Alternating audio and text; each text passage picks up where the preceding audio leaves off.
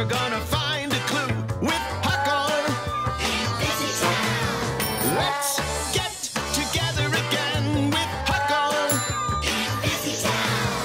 There's no doubt we can work it all out with